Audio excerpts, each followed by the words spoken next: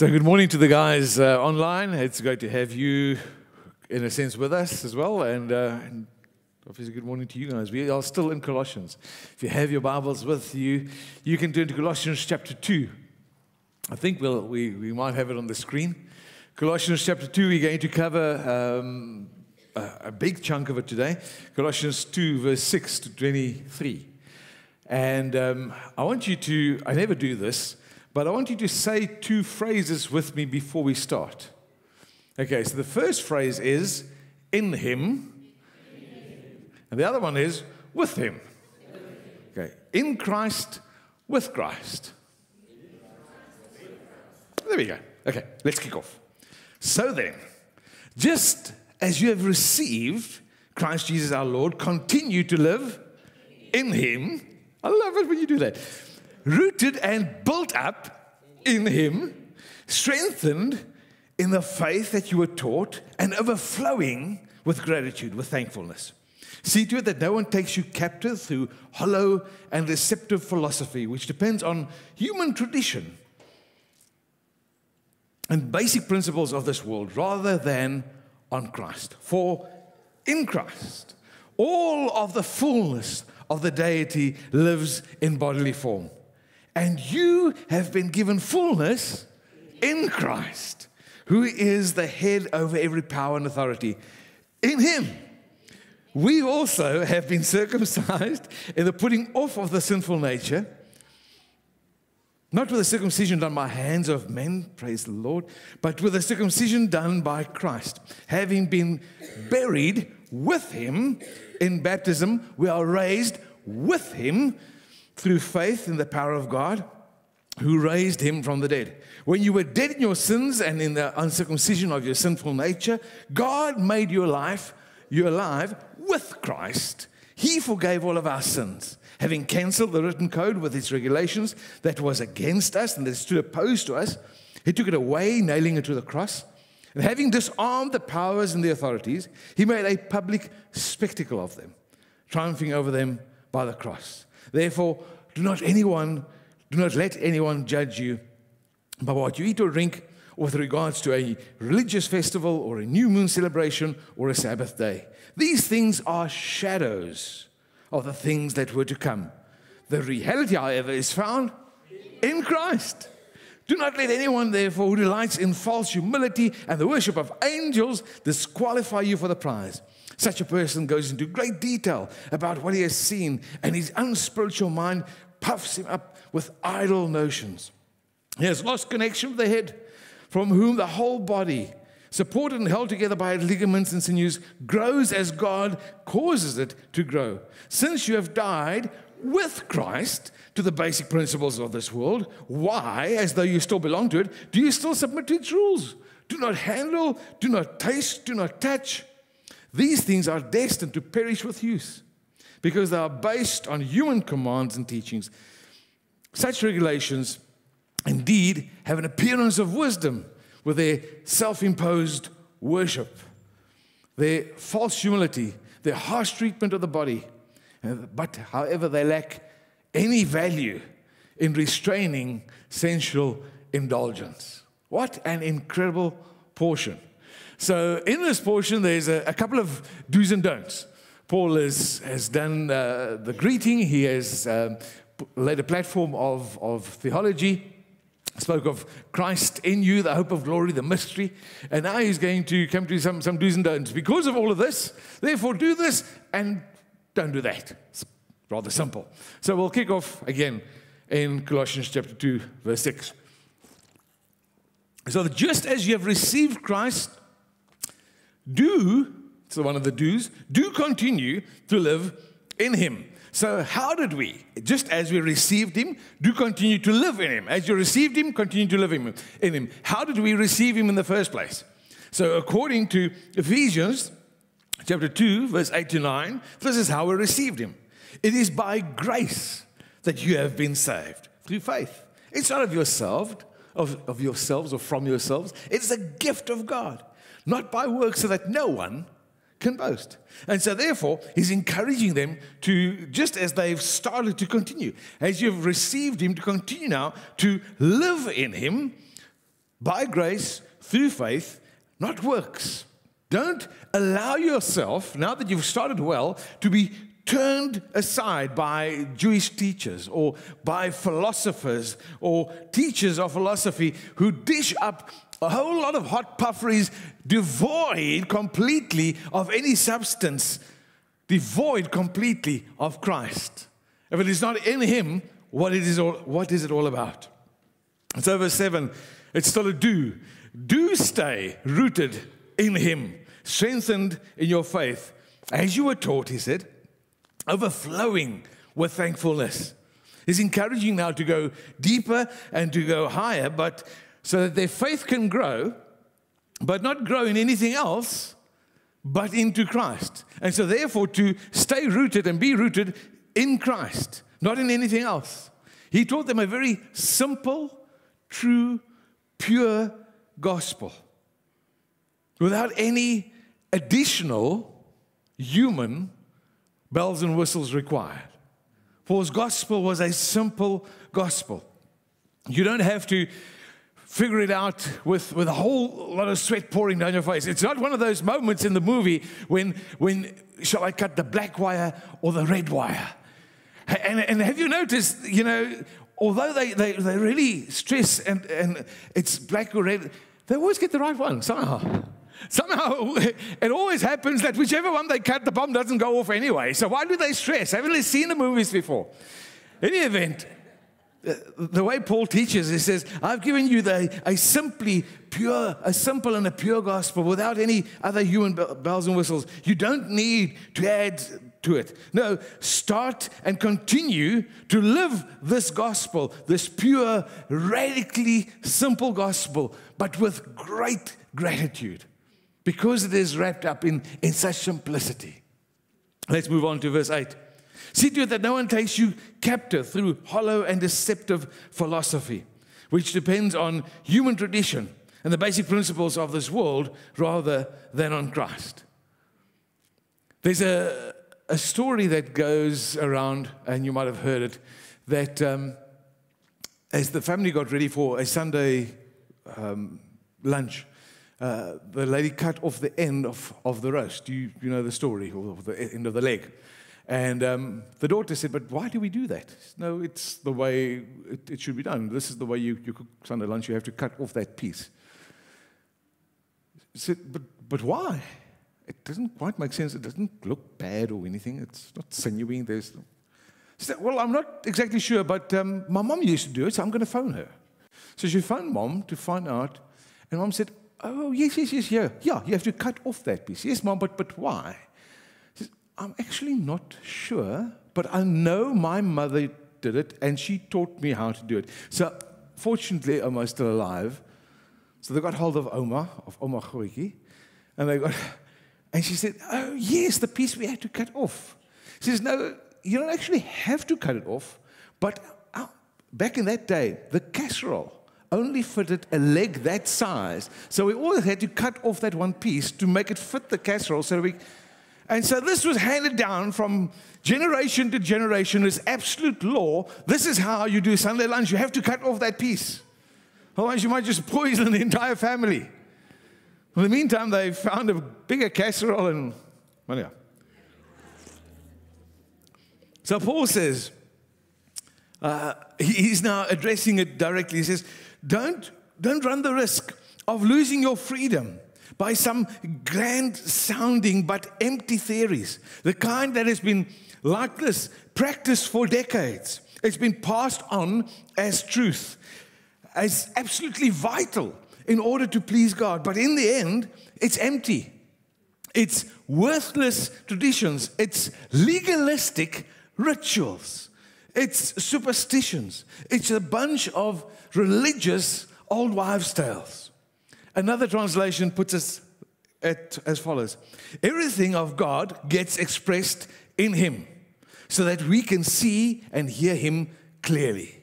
Everything in God, of, of God, gets expressed in Him so that we can see and hear Him clearly. You do not need a telescope, a microscope, or a horoscope to realize the fullness of Christ and the emptiness of the universe without Him. Don't you like that? You don't need a telescope, a microscope, or a horoscope to realize the fullness of Him and the emptiness of the entire universe without Him. I love that. Let's move on to verse 9 to 10. We're covering great ground. For, because in Christ, the fullness of the deity lives in bodily form.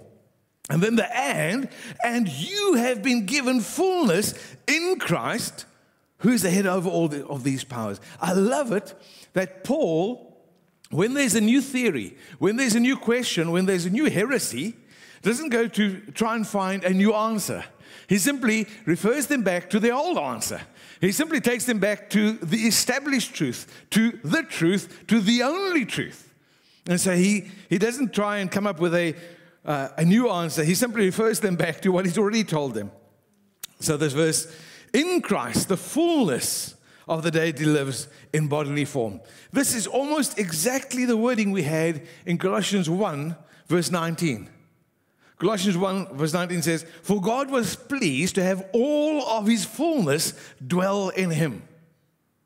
So, what we need to realize is there's no more of God, there's no extra of God to be discovered for us outside of Christ.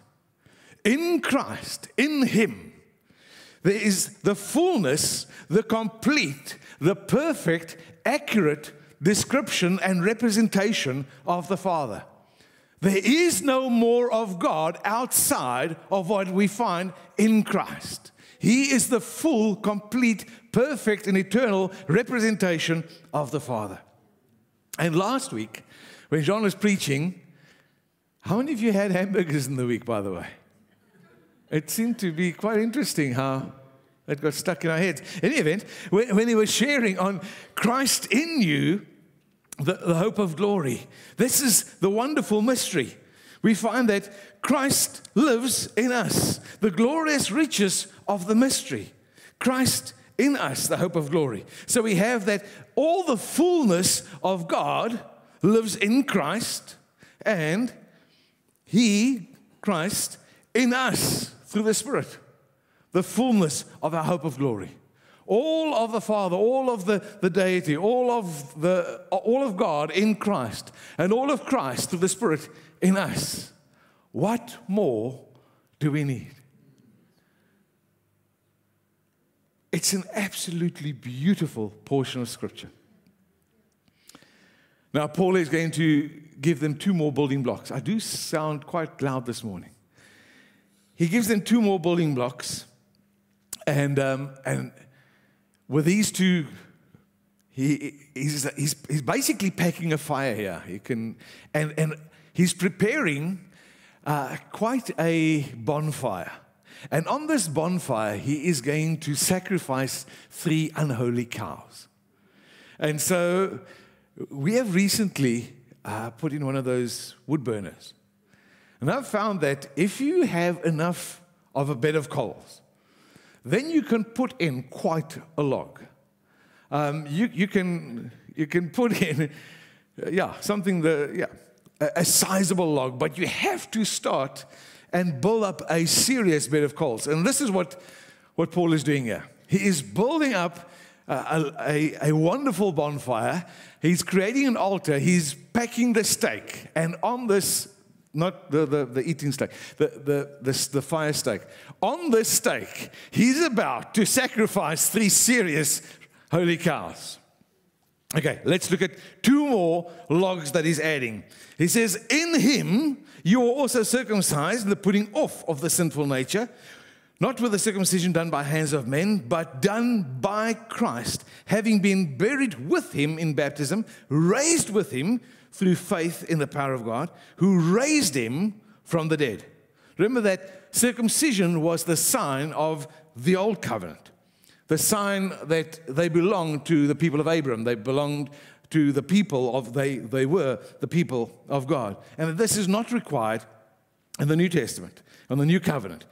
The New Covenant, we find that baptism is the, the sign that we are the people of God. It's the sign of the new covenant with God, a covenant which is by faith. And so when Peter, when, when the crowd came out to Peter, when the Holy Spirit was poured out in Acts chapter 2, and they cried out and they said, Brothers, what shall we do in response to the outpouring of the Spirit? Peter replied to them in Acts chapter 2, verse 38. And he said, Repent and be baptized, every one of you, in the name of Christ Jesus. In Christ Jesus. Be baptized into Christ Jesus for the forgiveness of your sins. And you also will receive this gift of the Holy Spirit. Now, repent and be baptized, not repent and be circumcised. So that's the, the one log.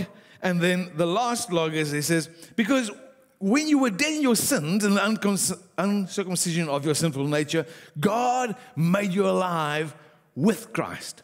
He forgave your sins, having cancelled the written code with its regulations that stood against us and was opposed to us. He took it away, nailing it to the cross. And then, having disarmed the powers and the authorities, he made a public spectacle of them, triumphing over them by the cross. Now,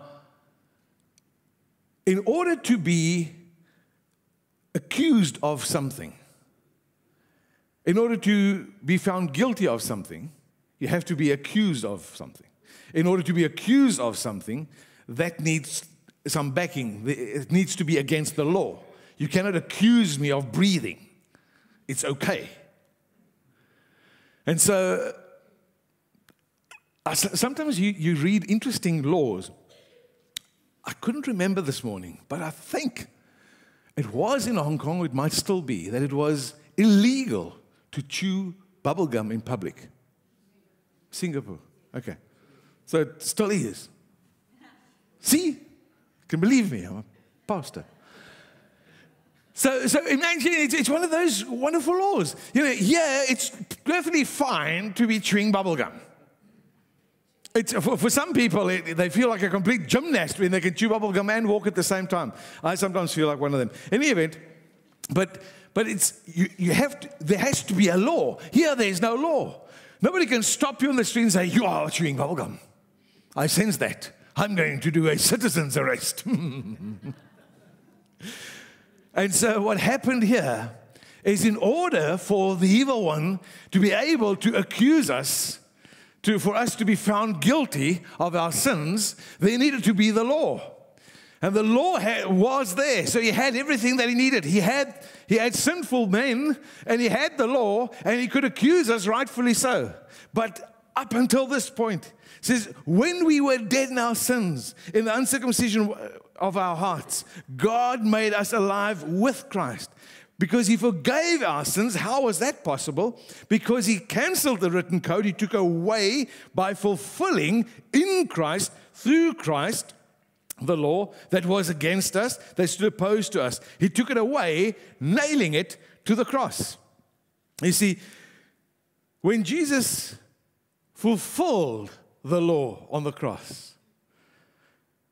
When he came off the cross, he was able to take the law that stood against us, turn around, and nail it to the bloodstained cross because it was now fulfilled.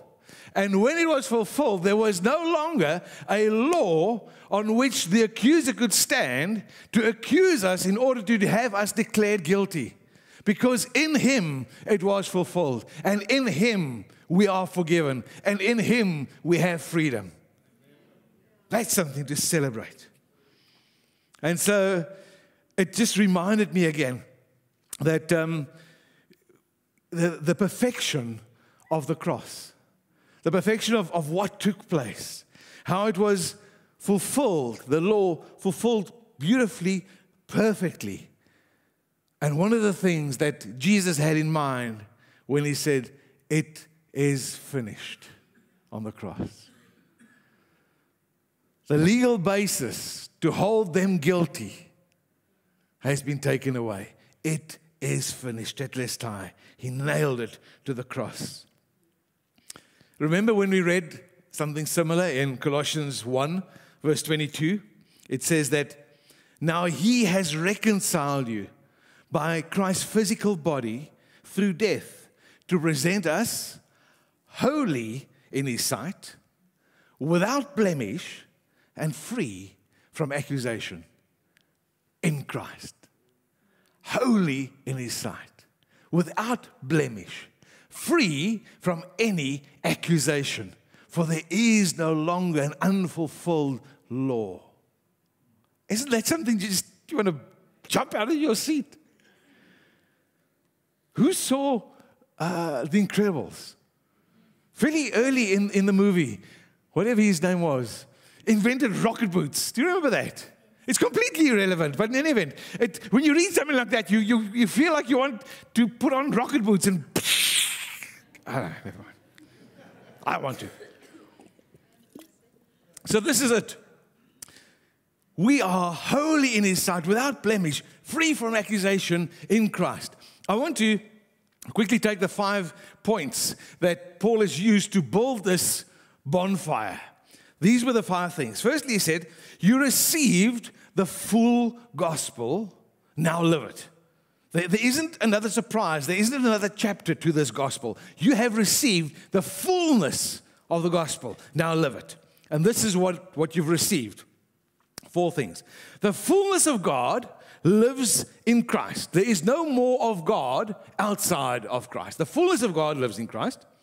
The fullness of Christ lives in you by his Spirit, Christ, the hope of glory, then your old sinful nature has died with Christ, and you have been made alive with Christ through faith, which is demonstrated by your baptism. Fourthly, you've been therefore forgiven by Jesus, by him fulfilling the requirements of the law, which he then nailed to the cross, leaving the accuser powerless without any basis whatsoever to bring any form of accusation against you. So now there is a fire that is roaring. And now he says, bring for ons thy quickies. And so he says, therefore, since we have this monstrous bonfire, therefore do not let anyone judge you on what you eat or drink or a religious festival or a new moon celebration or a Sabbath day. These things are shadows of what was to come. They've all been fulfilled in Christ. So, oh, how the, how the self righteous love to point out and point fingers and, and, and, and the accuser point things out in ourselves. But we can take him to the bonfire. And, and the, the first thing that went was diets and days. I, um, yeah, well, don't take it too literally, but um, diets and days. First things that, that went into this, this bonfire went up in smoke. Because what you eat has just as much power to defile you than observing some pilgrimage has the power to make you holy. Outside of Christ, it is completely meaningless. The second cow, then, he says, Do not let anyone who delights himself in, in false humility and the worship of, of angels disqualify you for the prize because they go into great detail about what they've seen and the mysteries and all the rest of it. But they've lost connection with the head. Sometimes they've lost their heads. They've replaced it with a a tambourine, and a tie dye kaftan. Okay, so, sorry, let's stick to the notes. Angel worship and a whole lot of visions, completely devoid of Christ, followed into the flames. Only that which comes from the head, Jesus Christ, can hold us together and cause us to grow. The third one, the last cow, he says, because since you have died with Christ, and you've also died to the basic principles of this world, why do you still submit to it as if they are still relevant, as if, as if there's still any worth or, or value in it? Do not handle, do not touch, oh, do not touch, do not taste. He says all of these things were, were, were destined to perish. They're based on human commands and, and teachings. See, some sects of the day, I was so nervous about saying that word, but I got it right. would deny themselves any form of tasty food. They would only eat dry, coarse bread and only drink water only after sunset. So they'd wait for sunset to whip out their coarse bread and their water.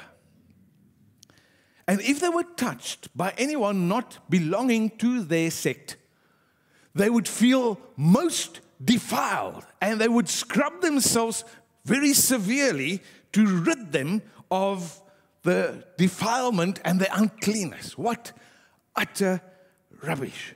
The Pharisees, the Essenes, and the Gnostics made it all about the outward appearances and the outward rules instead of the inward conviction of the heart. The gospel of Jesus Christ changes us from the inside outward. It doesn't attempt to change the inside by working on us from the outside. Recently, we, we had uh, Anthony Noble here. Some of you might know him, might have seen him do one of his paintings or do some pottery. And um, he did a, a quick pottery demonstration. Don't want to give too much away because I actually would love him to come and do it for us one morning. Um, in the end, on his, at his potter's wheel, he was starting to, to make a, a pot, and um, it basically made a, let's call it a vase, this, this high. So, but now he wants to turn this into a, a, a what should we call it, a pot? A bowl, a bowl, a dish. And um, I said, but, but how to do that? And as he touched it, obviously, the more he touched it from the outside, the more the thing kind of wobbled and folded inward. So he said, the way to work on the outside is to go inside. And he went inward with, with his hands and just kind of pushed it out. And whoop, by magic, this dish simply formed. But, but take note, in order to shape the outside, you have to work from the inside. It was such a, it was so profound, so simple, but so visual. That's it for this morning. However, I think it would be good for us to take a moment to pause at that bonfire. You'll remember the logs. I don't have to repeat them, and I'm, I'm sure maybe that, that's some of the things that the, the life groups will touch on in the week. The question is what are we? See it here. What, what are we to put onto the bonfire? Are there any cows that, that we've come up with that should go to the fire? It, the question almost seems semi out of place because we don't do angel worship. We do eat bacon, especially Renier. We do seafood, even bottom feeders and prawns, all these forbidden delicacies. We even go to the beach on Sundays. I'm not too sure about you, but I, I still, if a button comes off on a Sunday, I gaan met wag vir maandag. Because when I grew up, whoo, whoo, whoo, needlework on a Sunday, I, I, I think it's blasphemous to actually say it. Jy steek die naald in die Here se oog. So that's still maybe next year. We'll get there. But in any event, so so which one of, you know, the, the, what I want us to get is that although we've moved on, the, the, the bait changes, but the hook remains. The bait may change, but the hook remains. And so, what have we culturally or religiously or just simply gradually been putting next to or even above the Lord Jesus? What are we, what traditions, what, what empty stuff, what baggage are we carrying with that we need to just throw onto that bonfire and make sure that we stay to the pure, simple, perfect, complete gospel? May it perhaps be our children in this age, our careers, our comfort, finance, leisure activities, cultural demands, or maybe family traditions.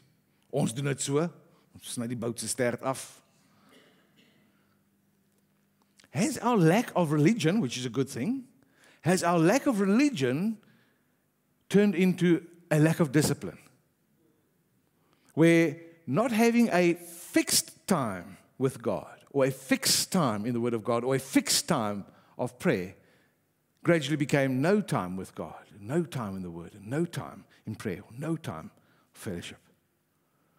You see, and this is something that we, we need to really hear. Christ fulfilled the law so that we can be free, not so that we can become lawless. Christ fulfilled the law so that we can be free of the law, not lawless. So I want to, want to ask can we take 30 seconds? Just close your eyes where you are.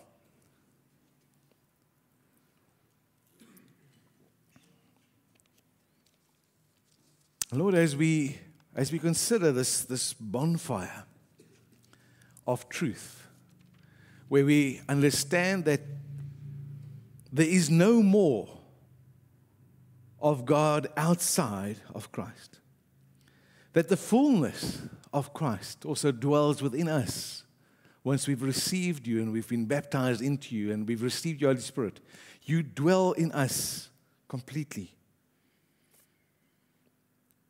that our sinful nature has died with you and that we've been buried with you by faith. And we've also then been raised up with you. Therefore, we have been forgiven because you have fulfilled the full requirements. You have paid the full price for our sins. Our sins have been punished.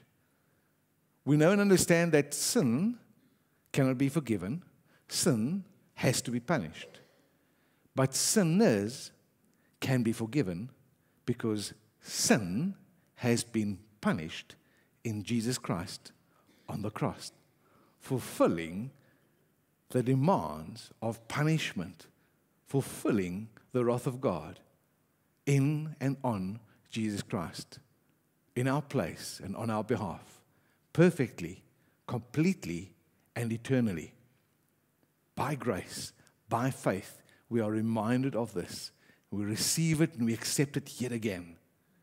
And on this roaring bonfire of the truth of the gospel, Holy Spirit, will you right now reveal to us what it is that we individually, perhaps as couples or families, but for us as individuals, what do we need to throw onto that bonfire of truth and let it be consumed once and for all.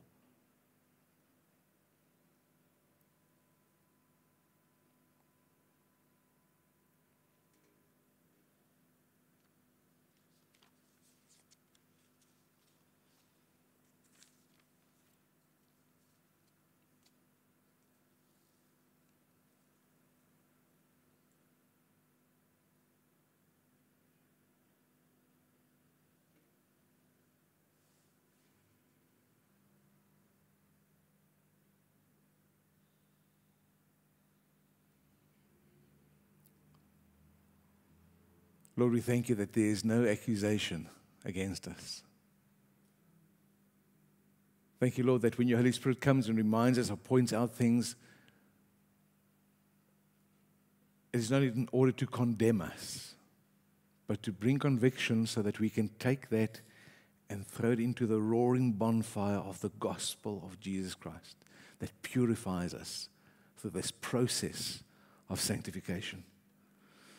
So let us rejoice and live in the true grace and the freedom of His gospel. Grace and freedom that always points to Him and always leads to Him, never into any form of decadence. Let us rejoice and live in the true gospel, the true grace and freedom of that gospel. Grace and freedom that point and lead to Him. In Him, for Him, for eternity. Amen.